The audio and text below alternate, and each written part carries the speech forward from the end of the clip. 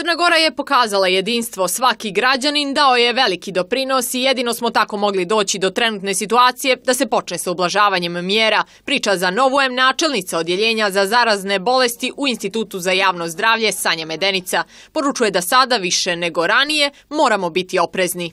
Naravno, e, sve to e, i dalje stoji. Građani Crne Gore kao i mi, svi akteri u odbrani od e, ove bolesti, moramo i dalje da se pridržavamo mjera, jer naravno da svaka neopreznost može da dovede do drugačije epidemiološke situacije i da će onda morati i druge mjere opet da se preduzimaju. Lijeka još nema, vakcina se čeka i Svjetske zdravstvene organizacije juče su kazali da najteže tek predstoji. Kako to komentarišete? Taj dio je izvučen iz konteksta e, generalnog direktora Svjetske zdravstvene organizacije, a više se tiče za zemlje gdje je manje registrovano i gdje se već očekuje e, registracije većeg e, broja oboljelih, to je za afričke zemlje. Možete li ukratko da mi sumirate borbu Crne Gore sa koronavirusom? Moram da kažem mm, da je borba Crne Gore po mom ličnom mišljenju bila lavovska i veoma mudra. E, ovo pričam iz razloga što su e, svi akteri i svaki stanovnik Crne Gore dao svoj ogromni doprinos.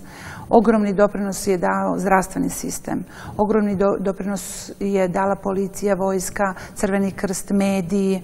Ogromni doprinos i glavni doprinos je dalo stanovništvo Crne Gore koje uglavnom, većinska Crna Gora je poštovala mjere i kao što sam rekla sada i kao što sam govorila više puta prije e, početka epidemije kod nas, svako, ako damo svi, e, svaki od nas, pojedinac, da doprinos svoj, vezano za svoj posao i za poštovanje mjera, onda možemo govoriti o kontroli epidemije. Trenutno je tako.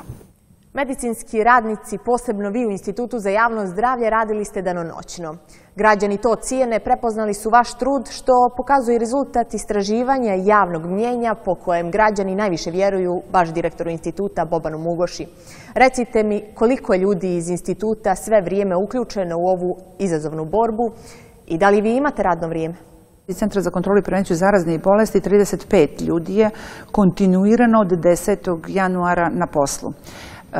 Drugi su centri također bili uključeni, e, Centar za, medicinsku mikrobiologiju, njih je oko 15, 15 zaposlenih u e, bio također sa nama čitavo vrijeme, zato što su oni radili diagnostiku i e, call centar 26 je osoba. Centar za kontrolu zaraznih bolesti Instituta za javno zdravlje i menadžment instituta nema radno vrijeme od 10. januara i to radno vrijeme naše traje, znači negdje sam rekao od 15 do 17 sati. Naša sagovornica imala je poruku za kraj. Želim da se zahvalim većinskoj Crnoj Gori na poštovanju mjera, na strpljenju, na toleranciji i solidarnosti.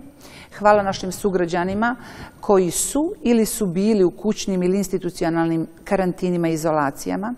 Hvala zdravstvenim radnicima koji su 24 sata u radnim karantinima sa svim rizicima koje naš poziv nosi. E, želim posebno da se zahvalim epidemiološkim timovima kojima e, nijedna kuća nije bila daleko u Crnoj Gori i koji dolaze i do najudaljenijeg oboljelog u našoj Crnoj Gori.